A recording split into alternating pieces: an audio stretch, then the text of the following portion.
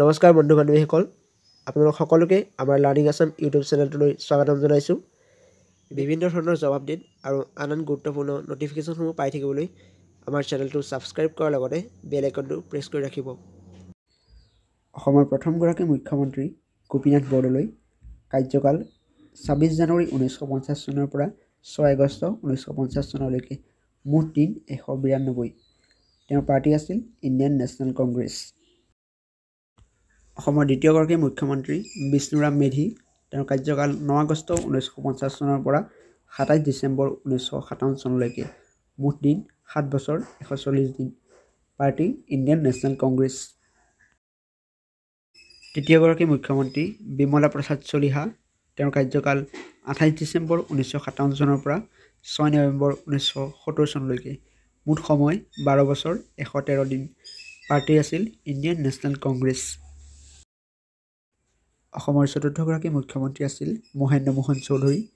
তেওঁৰ কাৰ্যকাল এঘাৰ নৱেম্বৰ ঊনৈছশ সত্তৰ চনৰ পৰা ত্ৰিছ জানুৱাৰী ঊনৈছশ বাসত্তৰ চনলৈকে। মুঠ সময় এবছৰ আশী দিন।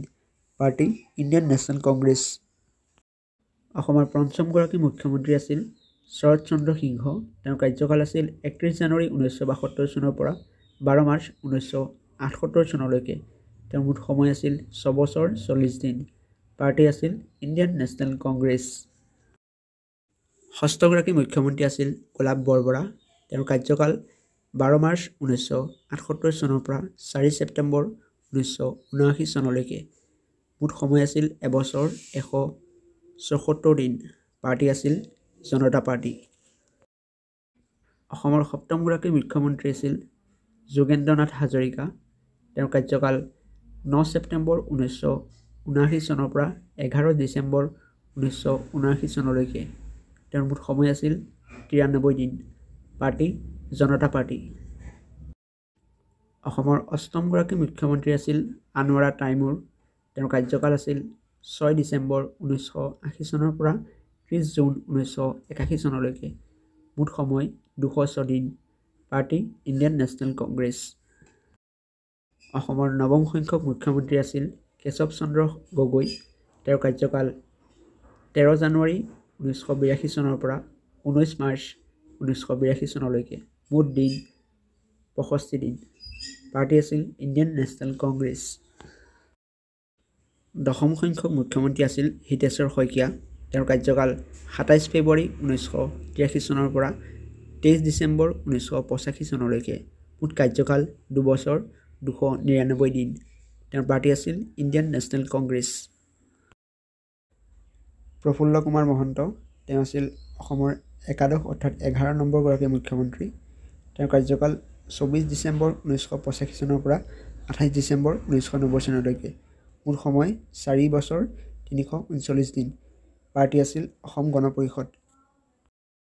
অসমৰ দ্বাদশ অৰ্থাৎ বাৰ নম্বৰজন মুখ্যমন্ত্ৰী আছিল ভূমিধৰ বৰ্মন। তেওঁৰ কাৰ্যকাল আছিল বাইছ এপ্ৰিল ঊনৈছশ ছয়ান্নব্বৈ চনৰ পৰা চৈধ্য মে' ঊনৈছশ ছয়ান্নব্বৈ চনলৈকে। মুঠ সময় বাইছ দিন। পাৰ্টী আছিল ইণ্ডিয়ান নেশ্যনেল কংগ্ৰেছ। অসমৰ ত্ৰয়োদশ অৰ্থাৎ তেৰ নম্বৰগৰাকী মুখ্যমন্ত্ৰী আছিল তৰুণ গগৈ।